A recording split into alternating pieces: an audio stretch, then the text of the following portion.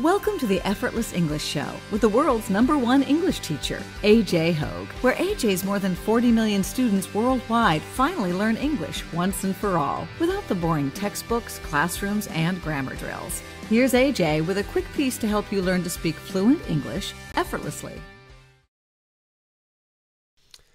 I'm AJ Hoge, the author of Effortless English. Learn to speak English like a native. You must join my VIP program. You will get the Red Pill movie course as a bonus for free, but you've got to join. You've got to commit now. Commit and don't quit to my VIP program. Also, Business English Conversations. Watch your email. I'll send another email tonight with more information about my business English course. Watch your email. Today we're going to talk about um, actually an idea I just recently had, and I just thought I would share it with you because I think it's interesting, and you know I thought maybe even it could be useful for us for uh, language, but especially just in your personal life, in your family life. So we'll talk about it.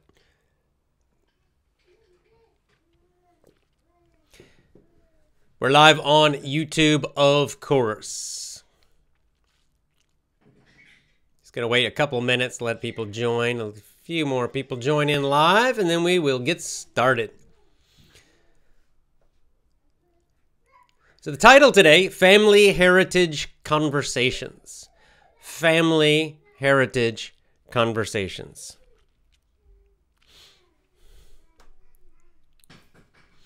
All right, let's get started, shall we?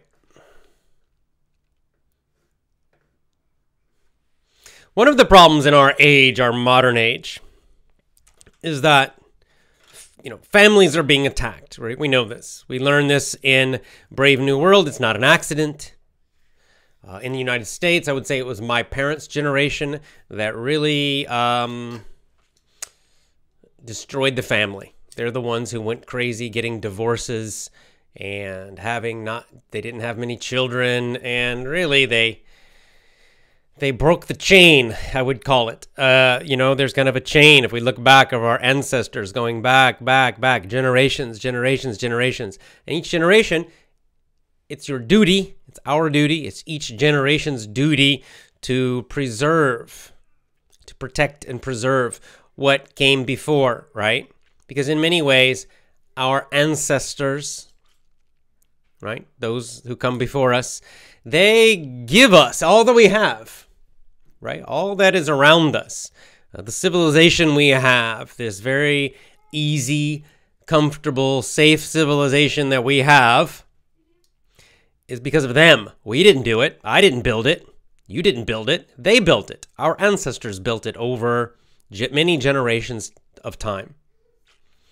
And you know, they're the ones who've given us so much wisdom. Uh, we owe so much to them. And at the least, we owe them the love and the respect to protect what they built and to preserve it and maybe add to it and then give it to our children and our grandchildren, our descendants, those who come after us. Right? This is our basic duty. And I would say, I'm only talking about the United States. I don't know about other countries, but uh, unfortunately, in the United States, my parents' generation, they broke this promise. They failed their duty. They did not protect what came before. They rejected it foolishly. They rejected, mostly, they rejected God and religion. They rejected family. Uh, they, they were fools, selfish fools. But that it is what it is. So what can we do? Well, my generation and the generations coming after me, we have to rebuild. We have to somehow uh, go back and find out. You know what? Like in my case, like what my grandparents had, what my great grandparents had, and that heritage, that tradition. Uh, all those wonderful things that came to us from the past, and we have to rebuild them in some cases and protect them. And the big ones, of one of the biggest ones is family. Family. Right? Everything if we look at our ancestors, they will tell you, don't talk to your parents, talk to your grandparents. If you your great grandparents probably not alive, but if they were, I'm sure they would tell you family, family, family, family, how important family. Family is the foundation of society, the foundation of a nation. Without the families, then everything falls apart. Which is why, of course, the uh, you know the the world controllers, the bankers, the the globalists, whatever you want to call them, that's why they attack the family, and they have attacked the family so much. So I'm thinking about this, walking around as I often do, thinking about this, and thinking about, of course, now I'm a father and I have children, and I'm not going to do what uh, my parents' generation did. Uh, I feel a very strong responsibility to my children that I must pass on this and that I must uh, create a very strong family for them and teach them how to create a strong family uh, themselves, and that I need to give my children a very strong connection to the past, right? Because they need that. It, it gives us roots. We need that. We need this connection to our ancestors, to our past, to our traditions. I didn't have that growing up. All of that was lost. All of that was lost. My parents taught me none of that. None of it. I had none of it, and I and I always felt that it was something missing. And I kind of gradually, uh, be, thanks to one of my grandmothers, uh, I have kind of refound that. One of my grandmothers wrote a family history. She did a lot of research, uh, and my grandfather, but especially my grandmother. And they traveled around uh, the United States and looking at records and looking at grave sites where uh, their ancestors were buried and doing lots of research. And they wrote this whole big history of my father's family, so the Hoge family, going back uh, almost a thousand years, all the way back to Scotland. So this big family tree, I very much appreciate it. It, it gives me a feeling of having a connection, roots, connected to my ancestors. And so I started thinking about this myself, and of course I have that, and I'm going to I think that's something beautiful that my grandmother has left. She's 100 years old. She's still alive. Uh, and I think, well, what's what's my duty? My duty, of, of course, is to preserve that and to give it to my children and teach them about it, but also to add to it. You know, I realized that, well, I need to contribute myself. And this is where I started thinking, like, how can I contribute to this? How can I uh, make this heritage, this connection to our ancestors, uh, to our family, stronger, stronger for my children. And this is where I got the idea. I thought, well, you know what I can do is I can start to gather, I can add to this family history. Right now, it's just a kind of basic outline of history. Lots of names going back, you know, all my ancestors back to Scotland uh, over a thousand years ago, which is great. But there's not a lot of detail in there. Like there are a lot of names, but I don't know who these people are mostly. And so what I've decided to do, I'm going to start recording interviews with my uh, family. With my, so right now, I I'm very lucky. I still have two of my grandparents. My two my both my grandmothers are alive. The one grandmother is 100 years old this year. The other grandmother's 95. So you know, they're they're at the end of their lives for sure. But because they are still alive, uh, I still have a chance, you know, God willing, that the next time I go back to the United States, if they're both alive, I'm going to have a get a video camera and I'm going to interview them and ask them what am I going to interview them about their lives. I want to I'm going to try to get them to tell stories about their lives. What were their lives? What were their childhoods like? Tell talk about their childhoods. What was it like? What were their parents like? Right? My great grandparents. I never met my well I met one great grandmother. I only have a very not much of a memory of her but no memory of the others. So get my grandmothers to tell stories about their parents and their grandparents and what was their childhood like and and then talk about their lives and what were the most important events in their lives, the big events in their lives. What did they learn and what lessons did they want to share about what's important in life for everyone who, who's younger than them, who comes after them in the family. And uh, so I'll do that. And what I'm going to do is I'm going to interview them. I might need to edit it a little because uh, at least one of my grandmothers, she kind of repeats herself a lot. She tells the same exact story many times. But uh, so anyway, I'll just record it. If she repeats too much, I can edit a little bit. Then I'm going to transcribe it, so put it into writing. And the writing part, I'm going to create my idea is to create like a, a book, basically, a book of stories from our family told by our ancestors, my grandparents. I'm going to do the same with my parents. So, my father and my mother and my wife's. We're also going to do it on my wife's side. So, she has two grandparents who are both alive uh, a, grandfather and a grandmother they're who are married, and they're both in their 90s. We're going to interview them. And, uh, and then we'll interview my wife's parents.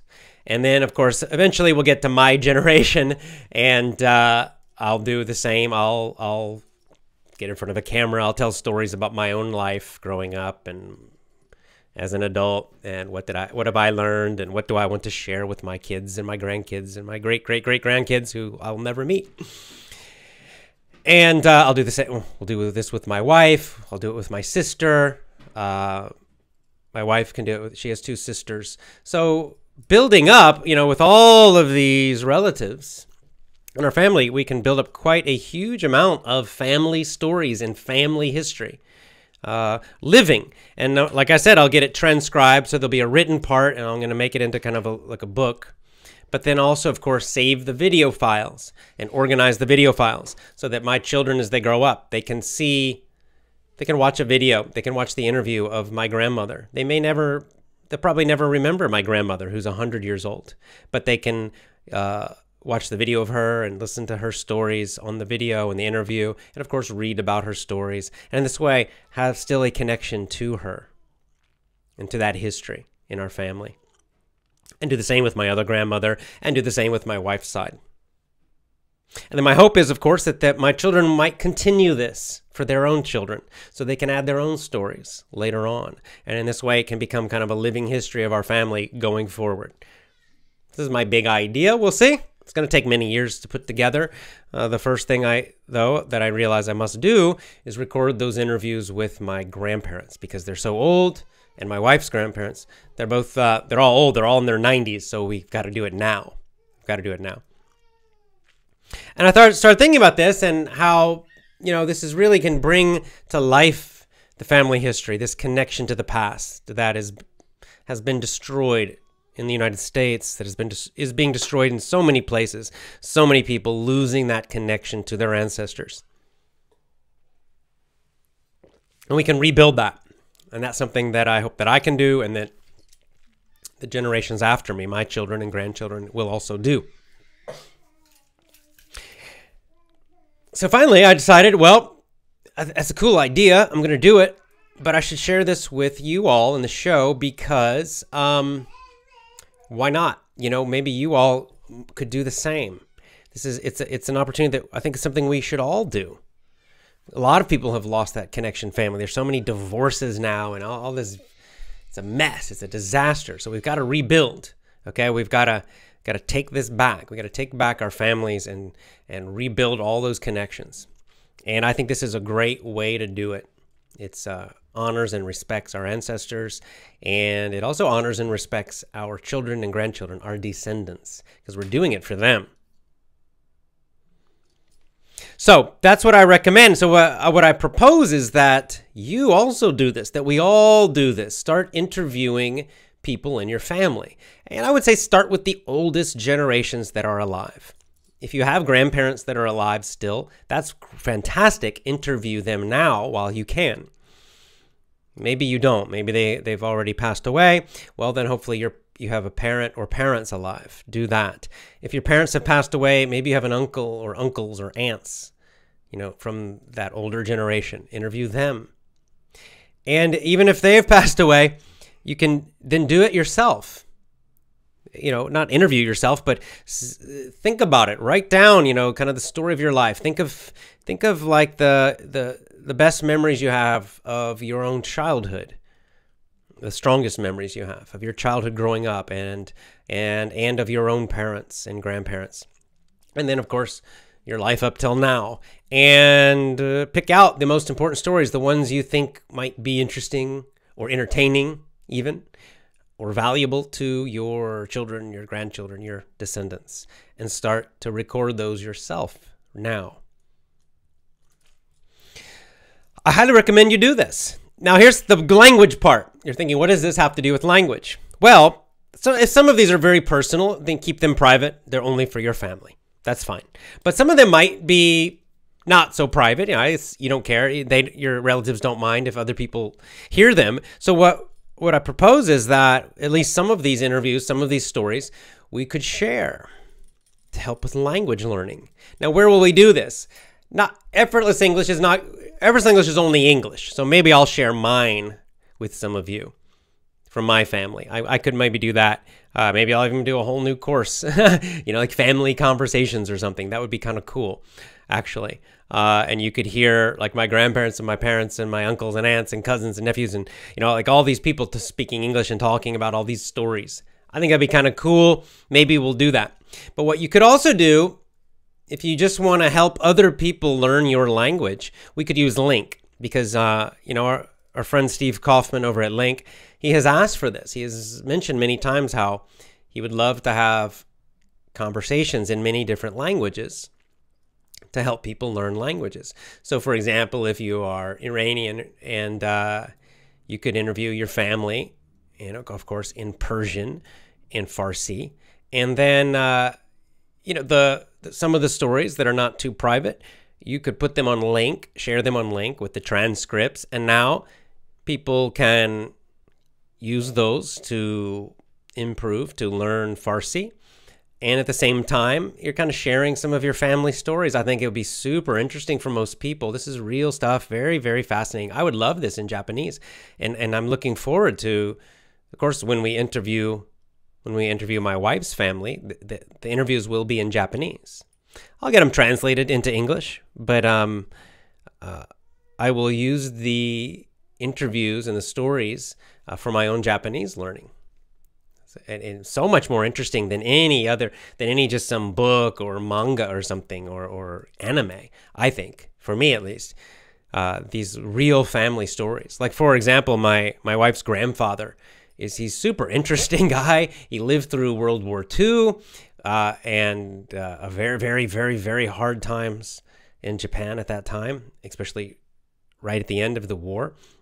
You know, people are starving. He, uh, his father had like a lot of wives, like so they, they kept dying. And anyway, he's got this very fascinating, interesting uh, story with a lot, you know, a lot of great stuff, a lot of very tough experiences. Um, I would love to to listen to those and use those for my own Japanese learning. So you could do that if you, um, if you know, if you you speak Spanish, your relatives speak Spanish, so you could interview, you know, interview your grandparents, your parents, your brothers, sisters, whatever, and uh, get their get their life stories. It would be great for your family. You could organize them yourself, and then some of them share them on LingQ L-I-N-G-Q dot com if you have the audio and the transcripts, share them on LingQ, and then other people who are learning Spanish, like me, uh, could use them uh, and learn about these great stories, real life stories from the past, from your own family history. So this is what I propose, and uh, you know, if you're interested, please do it. And if you do it in Japanese or if you do it in Spanish, please share link on Gab. Tell me, right? Tell me on Gab because I'll I'll use your families' uh, interviews or stories myself. If those are the two languages I'm learning, so uh, if it's either of those two, please tell me on Gab. You can still share on Gab with other languages. Maybe other people are learning your language. Okay, let's get into some comments and questions and see what we got here. Do do do do do do do do do do do do do do do do do do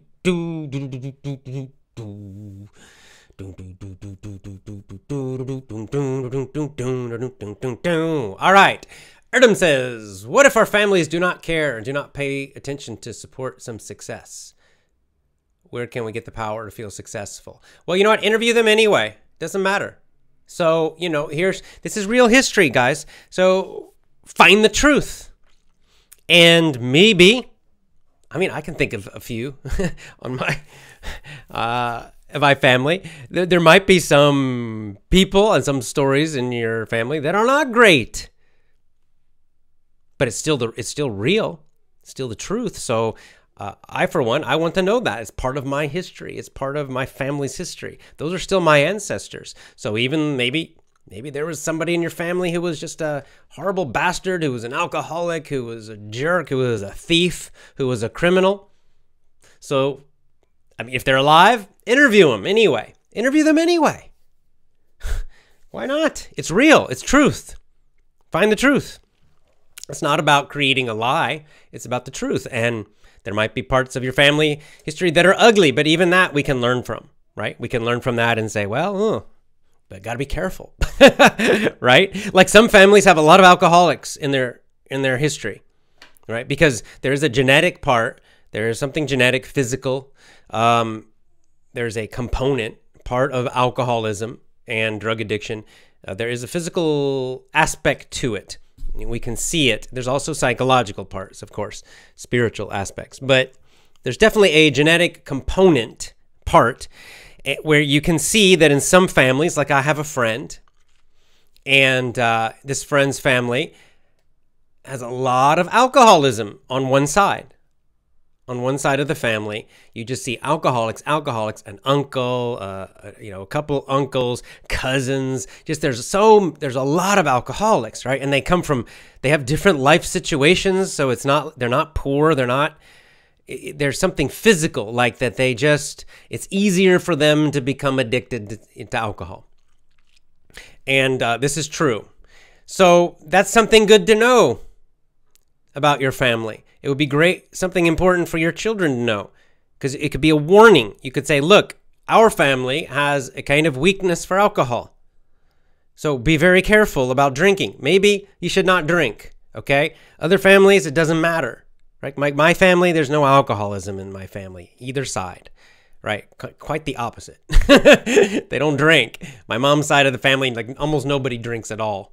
Um, even my dad's side, not much. So, uh, you know, it's kind of the opposite. We don't feel like I, if I drink alcohol, I, I, feel my stomach feels bad immediately. It's kind of like the opposite of alcoholism, whatever that is. okay. But it, even if it, if, but if your family had that history, that's good to know because it's a warning. You, you might save some of your children or grandchildren some pain when they realize, okay, we have to be careful.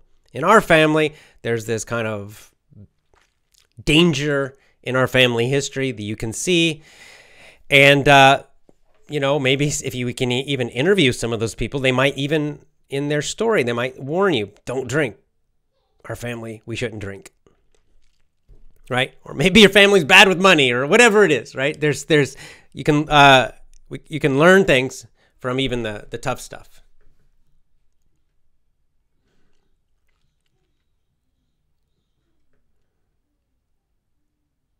Hey, Vladislav, good to see you. Okay, I'm just catching up. I'm kind of going back to the beginning here. Okay. Uh, Wynn's asked me, what do you know about, what do you think about how Aristotle's view of the family? I, I don't know Aristotle's view of the family, so I'd have to, you know, point me to a link uh, of what he said about it, and then I'll, I can comment. I haven't read everything Aristotle has written. A lot of stuff says, what about your grandfathers? Unfortunately, they're not alive.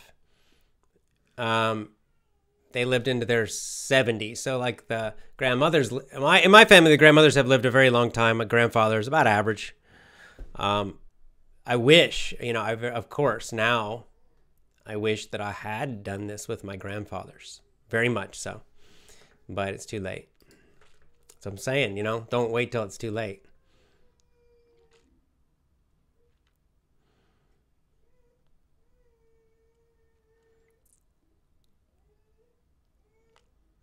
Yeah, there you go. Ibrahim Ali says, When I was a child, I loved to spend most of my free time with my grandparents more than my parents. That's not surprising in some ways. And your, if your grandparents are alive, don't miss the opportunity to learn from them. That's priceless. Indeed. Well, you know, grandparents have a nice role in, in most families because, um, you know, parents, you have a lot of responsibility you love your children, but you also have to you have to discipline them. You have to, you know, right there. You kind of have to be tough with them sometimes. But grandparents can kind of spoil the kid the kids a little more, the grandkids, they don't have that same responsibility. They can kind of relax, right? And, and it's kind of common. It's very common for someone like, let's say, this your parents maybe were very tough to you, but then when you have children, they're very very soft with your with your children, with their grandkids. And you're like, "Hey, what, what's the deal? You were so tough with me, and you're so nice to them." But that's why, because they, as grandparents, they can just do all the fun stuff, and they don't need to be so responsible. It's an important role. Kids need that. Ideally.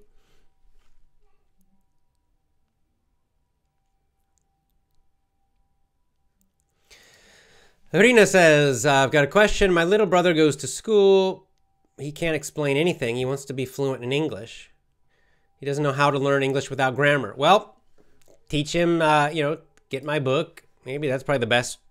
You know, all the information's in one place. Get my book and teach him the seven rules and uh, get him started on the mini stories. That's all he's got to do.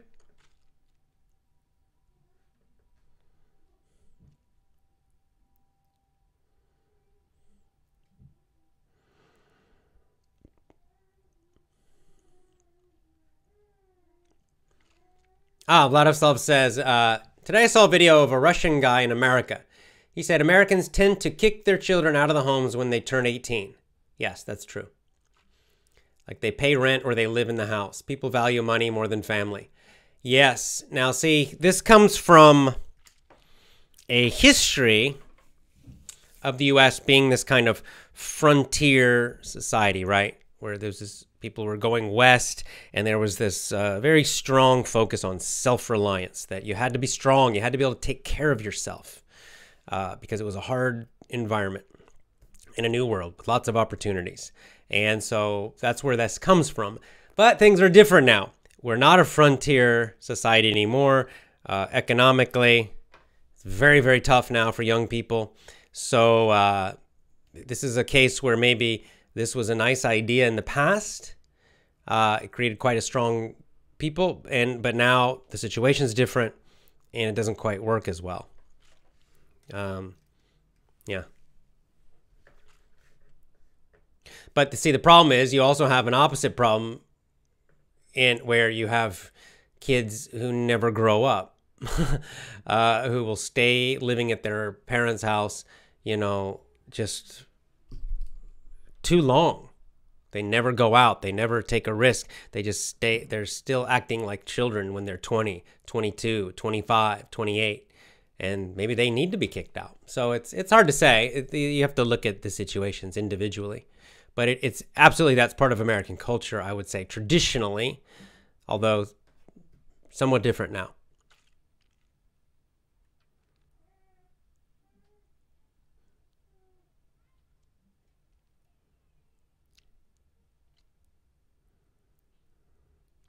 Hey, Lisa has joined us live. Good. I'm glad you could join live. I finally got to do a little later today.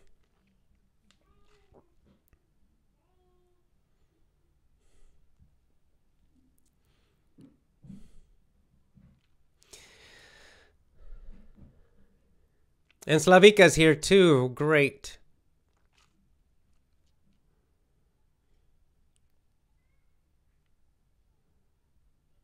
Yeah, a lot of people agreeing. Like Jamal says, uh, it's a great idea. There's so many things to be learned from our family's histories. Indeed, indeed. I think more than, I think it's real, right? When you read a story of like history books, first of all, there's a lot of bullshit in there. okay, a lot of lies, a lot of propaganda from the government and others. So when you're reading a story about whatever, the history of your country, it's hard to know how much is true and how much is false. You've got to dig in there and find it. But and it's also though the other problem is it's about strangers. It's about people you know, these that are that are not directly connected to your family, but your grandparents or your great grandparents. Those are real people. I mean, those are you know connected by by uh, very strong connections. So when you're those stories are intimate, we say, right? They're very, very close, very, very, very meaningful. More meaningful, I think, than the big historical uh, figures that we learn about. I think it's a more important history. I think your family history is more important than your country's history or world history. You know, they both have some importance, but the family history is more important. It's the foundation.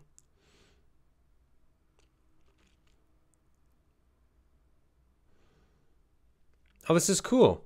In says, it's a very interesting idea. My sister has written the story of our family and neighbors. I can translate some of them for you. For privacy, she has changed the names. There you go. That's something else you could do. You could change names if you want to share it with other people.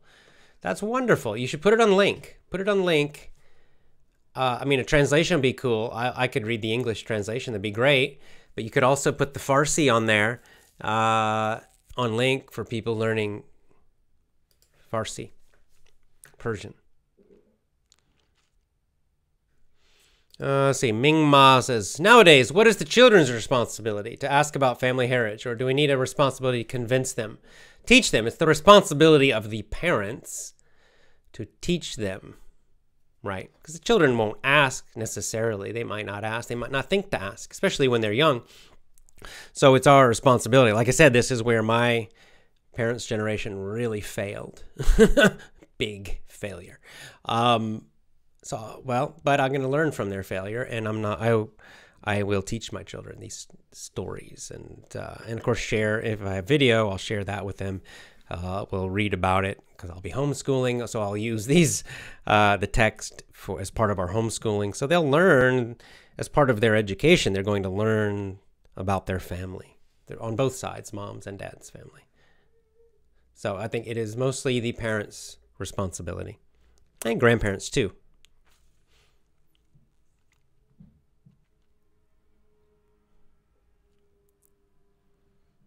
Yeah, this is very nice. So Brahim has a nice experience.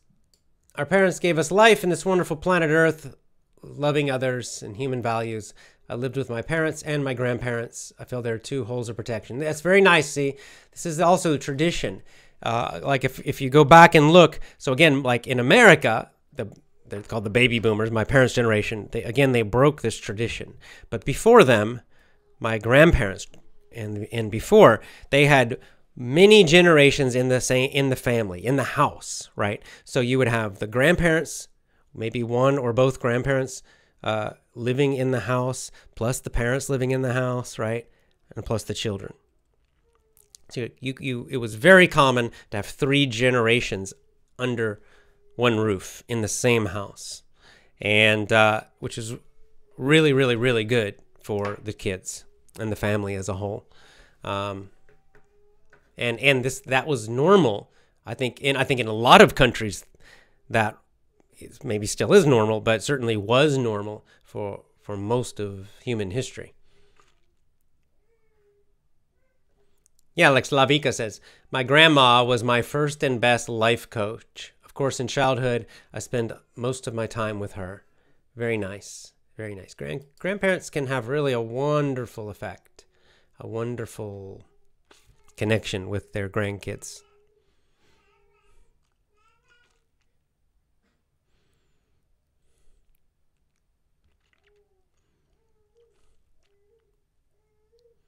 Yeah, so very great. Marjan my grand grandfather was in World War II. I remember his stories when I was a child. I loved listening to him, even though I knew back then that he was exaggerating. Yeah, I wish I had them recorded. Yeah, except that, you know, sometimes to make a story good, you exaggerate.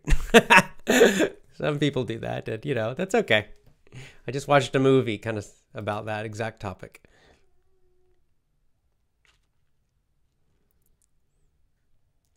Khalil says sometimes it's tough to communicate with old people. Yeah, it depends. If you just just ask them questions and listen more. I think anyone tries to respect them, don't be rude when you talk to them. Yep. Depends on the individuals.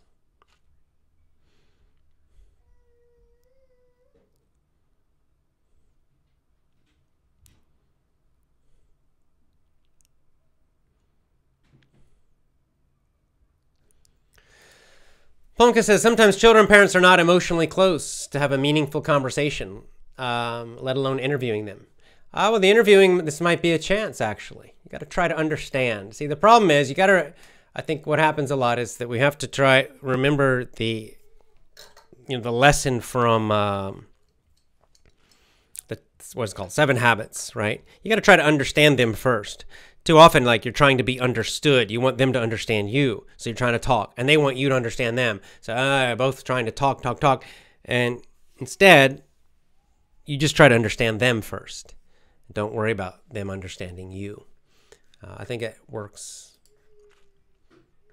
One person has to step up and do that and be the leader in that way.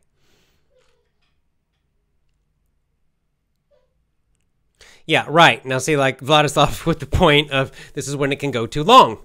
My 45 year old uncle still lives with my grandparents. He's an alcoholic. That's why he's unsuccessful. But his mom loves him and doesn't want him to leave. He had family with a daughter, but then divorced. Right. And I see, I know someone like this too, not in my family, but a friend's family. And this is where, right, that's the other side of it, where uh, he probably needed to be kicked out long, long ago because they're actually making it easier for him to be an alcoholic. Um, most alcoholics and drug addicts never change. That's the sad truth. But the ones who do change, um, it's usually because you know they call it hitting bottom. They hit bottom. They have to feel a huge amount of pain, right? Because they're addict, they're addicts, and as long as they can continue as addicts, they will. So the the the one chance they have of changing is that they lose everything. They're in so much pain that they wake up and they realize that the pain of drinking, the pain of drugs is worse than stopping, right? So, but the problem is then family members and friends don't want them to suffer, so they actually help them. They think they're helping. They give them money, they let them they give them a place to stay. But what does this do? It make it lets them avoid the pain. So they keep on drinking and drinking longer. It actually makes them it lets them keep going.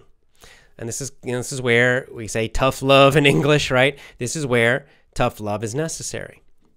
Definitely with addicts and alcoholics. They have to feel pain. It's their only chance and still some of them feel pain and, and they still won't change. But I mean, you know, some of them do change, but only if they feel that huge pain. They have to lose their family, they have to lose their home, they have to lose their jobs, they have to lose basically everything. And then some of them finally wake up. So you have to let them lose everything. Let them feel the pain. They need to feel the pain. Um, so this is a case where, right, letting them stay is probably a bad idea. They probably would have been better to kick him out. It's tough though. I know I, I know it's hard. I'm not saying it's easy. Okay.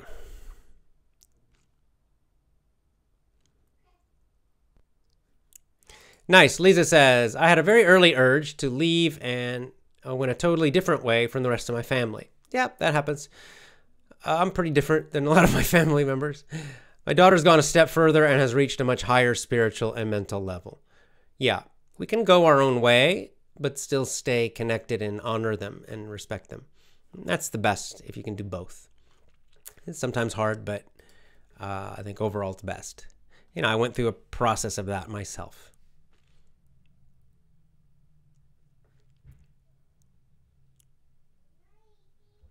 Right, and Vladislav's giving another example of uh, 50 year of a 50 year old son of my grandfather's. Uh, he was kicked out of his family. Well, yeah, it's it's hard, man. Uh, one of the reasons I quit being a social worker, I got sick of working with addicts. I really got sick of it. Pretty negative about them.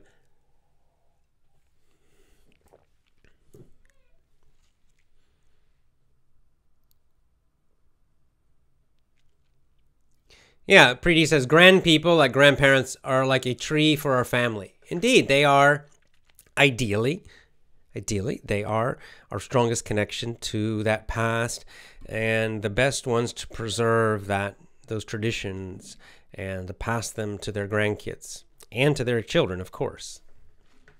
It's our duty to do this. A quite important one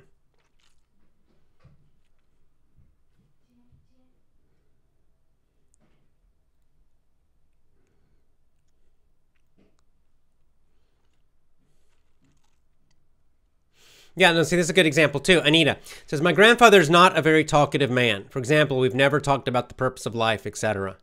Only about current stuff. I'm curious about his stories and thoughts, his real personality. Right. And see, sometimes they don't talk about it. Maybe they think we're not interested. Maybe they would feel they they think maybe oh I don't want to just I'll bore them. They'll be bored about it. Uh, maybe they're a little shy, whatever. So that's why it's good to to take this um, initiative, right? To go and just tell them what you're doing. Tell them why you're doing it. Say, look, I'm, I'm doing this for myself. I'm doing this for my own children. Uh, we're not going. You're not going to live forever. Neither will I. And I want to keep this alive. This is part of our family history. Your life's important, and I want to. I want to hear about it. So you just got to say this directly to them, and I, th- I think most will appreciate that. I mean, I think most people would. I would.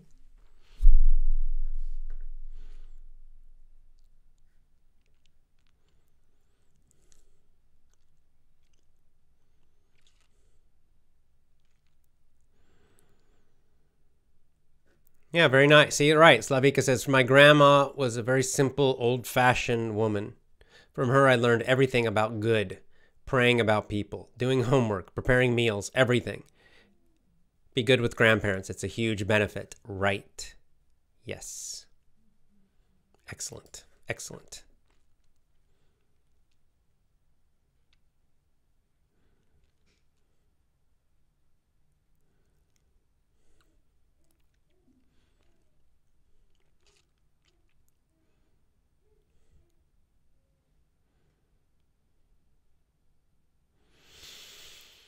Hmm.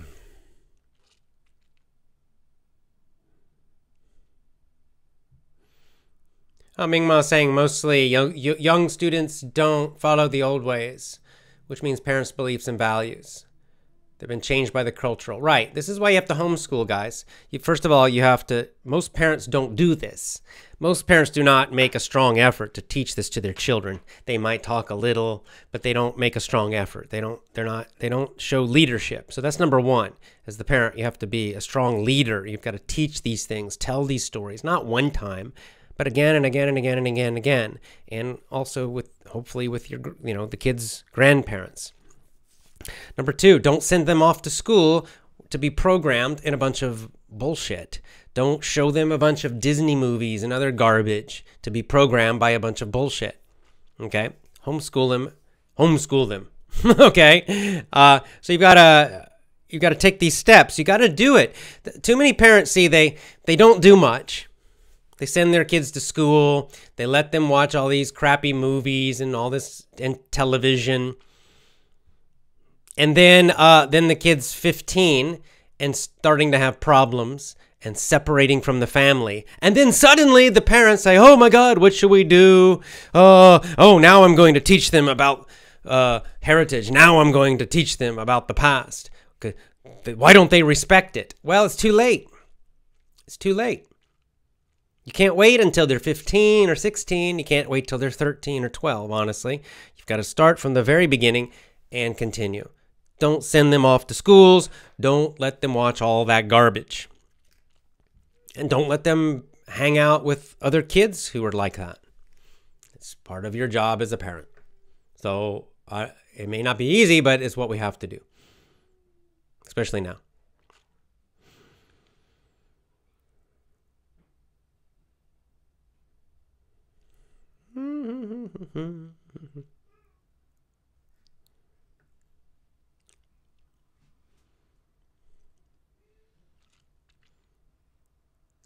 I'm not sure about this question, but it's kind of funny. Uh, my grandma likes working, but she's 80 years old. What can we do with her? I don't know what you mean. What can we do with her? A little funny. Um, let her work. You know, let her do what she wants to do. That's what I would say. She wants to work. Let her work. kind of funny. Uh, let's see. Any uh, next comment. Anyone can learn a lot from their elders. They have lots of experience. As the quote says, experience is a master teacher, even when it's not our own. Well said. That's right. We can learn. We can even learn from their mistakes, even if they're not good people. Well, we can learn from their negative examples. okay? We can learn from their suffering. We can learn from their pain. We can learn from the bad choices they made. Right? We and then avoid all those things. So we can indeed learn a lot. Don't, they don't have to be perfect people. They don't even have to be very good people, honestly.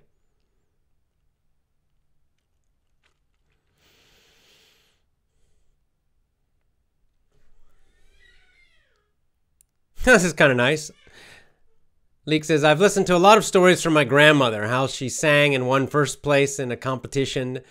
Uh, thanks to that, I think about the stories she told me. Yeah, it's really, it's just so nice. It's so nice. It gives you a connection to the past. You realize that you are part of, of something, a family that goes back generations and generations and generations, right? That you're not isolated. You're part of a tradition that goes back, back, back, back, back, and that hopefully will continue forward, forward, forward, forward. And that you are, you know, you're one link in that chain.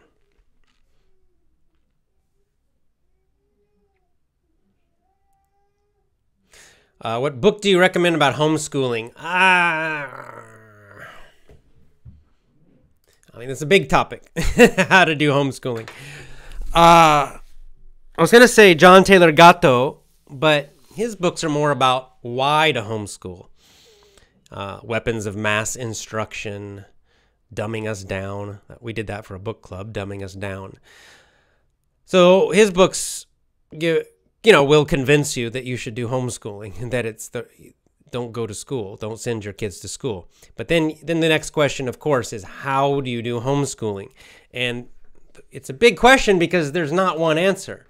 There are many, many, many, many, many, many ways to do homeschooling. Hundreds, thousands of ways to do homeschooling. It's one of the things I love about homeschooling, right? Public schools, even private schools around the world, they're almost all exactly the same. It's the same bullshit. It's the same approach. Everything's the same, right? And it doesn't work. It's horrible. Uh, but homeschooling is completely unique. Every family can and does do it differently to fit their family, to fit their children. So uh, I've at some point I'll try to do more uh, about very specific ways to do homeschooling. But those of you who are going to homeschool uh, and you're really, I know some of you get really nervous. Oh, how do I do it?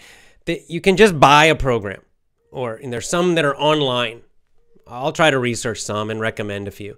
But um, there's one, Ron Paul has one. Okay, there's one. I can recommend that one. I like him. Ron Paul, Ron Paul Institute, R O N is his first name, Paul, P A U L. Ron Paul curriculum. He, uh, he has a homeschooling curriculum. You can just buy it, and then you've got all the plans, you've got all the books, you have everything you need. Just follow it. That's all you do. It's easy. That's what teachers at school do, guys. Do you think they're making all that stuff up by themselves? You think each teacher in the in a class is is so creative and they're they're making all of this by themselves? No. The school system gives them everything. They're just following it like robots mostly. Okay? You can do that. Anybody can do that. But what's better is if at home, at least you can choose something better. You can choose a better curriculum that fits you, that fits your family better. You have choice. If you send your kids to school, there's no choice, right? The school decides, and they decide because based on propaganda.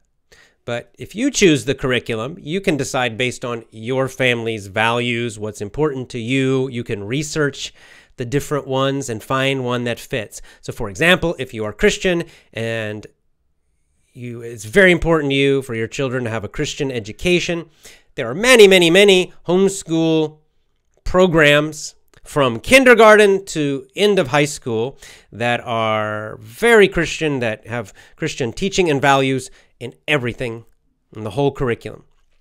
The same is true if you are Muslim, if you if you're not religious, if you if you want to science something that's more heavy on science for some reason, you can find that and you can do that. This is what's cool about homeschooling is that you can you can find and just buy programs that fit what you want. Or if you're like me, you don't you can just create all of it yourself okay you can just choose oh this book and this and this and this is what i'll do is i'll just i'll create my own plan I, i'm not gonna i might buy maybe a little bit here or there or something maybe like for math i, I, I want to teach math i don't i'll probably research and find a good math program and maybe do that for the kids since it's not my strong point um, but other things like reading and literature and English and uh, language and writing and even science, I can all do. I can do myself, and I'll do it the way I want. So this is, uh, I guess, this is the good news and the bad news of homeschooling. It overall is very good news, but it just means that. Be, there's so much choice, so much flexibility that I know some people who are just starting, it's overwhelming. Like, ah, oh, what, what, how do I do it? How do I start? There's so many possibilities just don't get stressed about it. Okay, just choose one. Just choose one. You can always change your mind later. Okay, so try one. They're all better than school. This is the good point. Anything you choose for homeschooling will be better than the public school or better than the private school. Okay, so they're all going to be better than what you would find in a school. Okay, you're a better teacher than any school teacher for your own children, 100%. So don't don't worry about it, okay? There's not there's nothing to fear about this. Just choose one that looks good. If you're Christian, find a Christian one.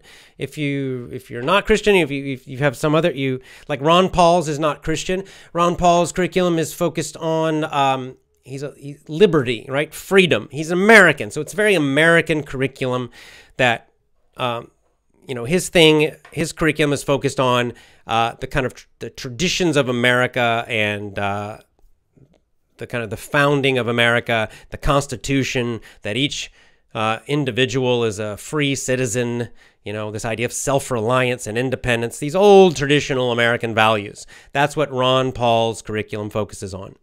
It's great for Americans. Now, if you're not American, you probably aren't if you're listening to me, um, then uh, maybe it's not the best one for you. But there are many, many, many, many, many others. So this is the point. So just choose something that looks good, try it, and uh, read some reviews, do some research about you know homeschool curriculum, and uh, just try some. That's all you need to do. You'll find some things that work. You'll figure it out as you do it. You you make some changes, and you'll figure it out. You'll get better and better.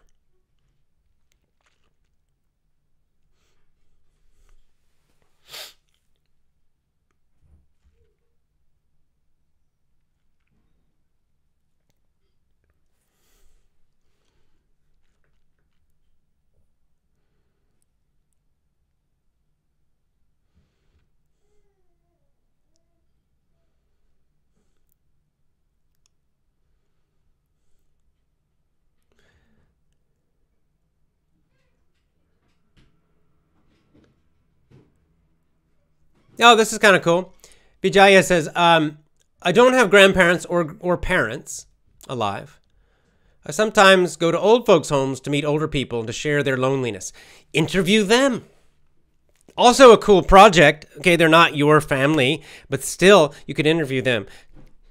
Uh, I'm sure they would love it, you know, and put together their stories, all these stories of these older generations. It would be fantastic. Also, uh, as you start your own family, Vijay, I don't know if you have kids or not, but if uh, you can tell your own story, and you you know, hopefully you, I don't know when your parents died, but um, if they you know if if you have memories of them, then you can tell stories about your parents and record them so that your kids will they never met your parents, right? They won't know their grandparents, but they can at least um, they can at least uh, you know hear your stories about them, and of course your your spouse, hopefully their maybe their parents are alive, so you can interview your spouse's parents as well. So you can still do this for your kids uh, with your own life at least, right?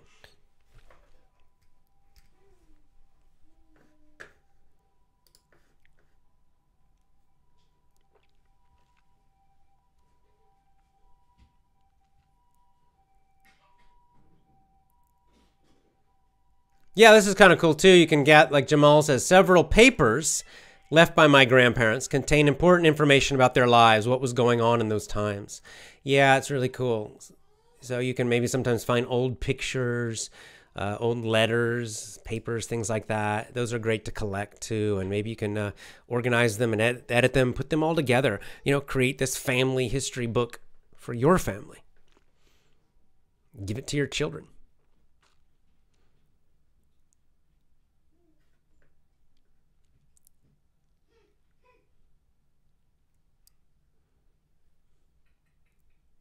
Wynn seems to be an Aristotle fan.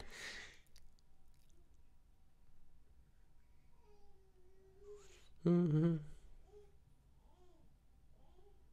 Yeah, right. Well, Merrick, good point. In the past, we could learn from our parents and grandparents, but unfortunately, nowadays, kids don't speak with their parents. The main source of knowledge is the omnipresent internet.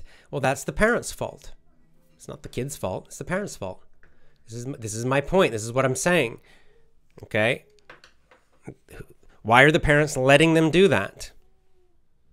Right? This is what happens with parents. So many parents, they the kids become teenagers and suddenly the parents are complaining, "Oh, they just use the internet. Oh, they don't listen to me. Oh, they don't care." Well, of course not. It's too late. It's too late. You've got to do this from the very beginning. Homeschool your kids. Don't let them just play around on the internet. Don't let them play just play video games all the time. Don't let them watch garbage on TV. Don't let them watch all that garbage in movies. Uh, you know, from the beginning, you you do this. From the beginning, you can't start when they're. You know, I guess you could try to start when you're when they're 16. It, you know, if you it just will it's going to be a lot harder if they're used to all that stuff and then you decide when they're 16 or they're 15 or they're 14 okay now we're going to stop all of this then you're going to have kind of a big fight on your hands with them. You can still do it you still probably should do it but it's going to require a lot more energy and persistence and skill. But if you start when they're two and you stay consistent their whole childhood it's not such a big deal. You've created this culture within your family and you avoid a whole lot of these problems, right? It's, it's better to avoid them than to try to correct them after. So, you know, bad communication with your kids, well, you got to build that communication from the beginning, right? It should be a habit. You should you should be talking to your kids and have that great communication with them from the beginning and then never let it break. That's how you avoid that.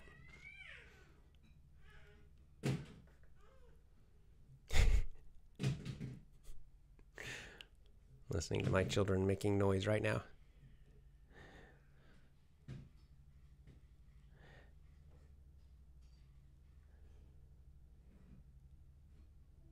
I think we're about finished.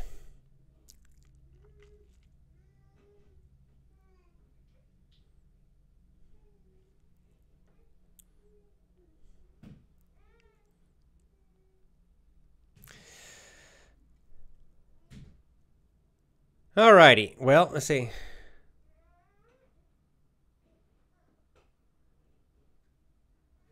Yeah, okay, I'll finish with this one. Sergeant Sarge says, uh, I'm not a parent myself, but there's some separation between people with all this technology. Exactly. It's not just kids and parents, it's a general problem. Whenever I try to connect with people like my cousins, I get weird eyes. It's quite sad. Right. So that's why, you know, phones off, no screens. This is a good rule to have in your family, with your kids, uh, with everybody. No screens. It means no smartphones, no internet, no iPads, no TVs. None of it. Get rid of it all. Get rid of all that stuff. Or have very, very, very strict rules for the parents using it only when the kids are asleep or something, you know. um, that's that's my advice. You got to be strict. You got to be very strict about it. Very, very, very tough. I advise super tough practices with this. All right, guys. I think that's it for today. Okay, as always, join my VIP program at effortlessenglishclub.com. Effortlessenglishclub.com. Uh, have a great day, and I will see you next time. Bye for now.